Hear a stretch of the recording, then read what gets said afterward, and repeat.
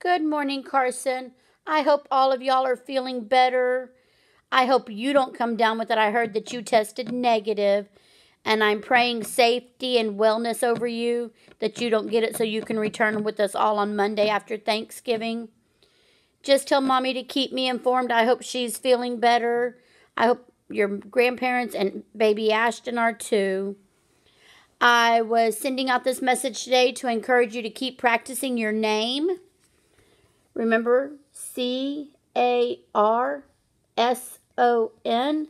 And you can have mommy write it with the pencil and then you trace it. Remember to trace it means you write on top of it. And you take your time and you start slowly. So you would do the C first. Then the A. And remember the A has the little foot. R has a tiny rainbow. And this is the one that gives everybody trouble. S. It starts at the top and then it says, nope, I'm going to go back up. O is easy. And then N has the rainbow that touches the ground. So practice that, okay? Also, look for letters around your house, whether it's on snack containers, milk containers, books. Look for the letter A, the letter U. This is a new one. D and V. Also have mommy trace some really big shapes on paper like a circle, a square, and a triangle and practice cutting those. Remember these two fingers go in the big bottom hole. Your thumb goes in the top.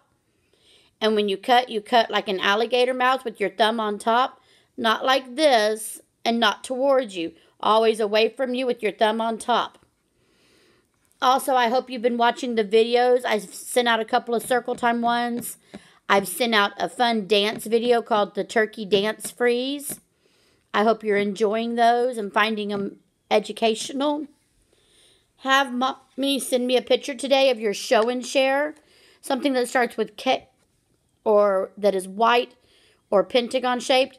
Look, I found this one. It's Kohl's Cash, and there's the letter K. When I was at Costco last night, I found kiwi fruit.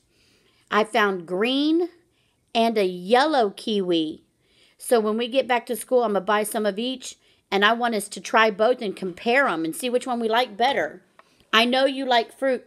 You eat it every time I have extra at school, so keep eating your fruit. That's a good thing to eat. Um, also, have mommy help you send a, the answer to the question, What do you know about oceans? It can be just one thing, or it could be something you want to learn, okay? Take care, sweet boy. Take care of your family. I love you, and I'll see you soon. Bye bye.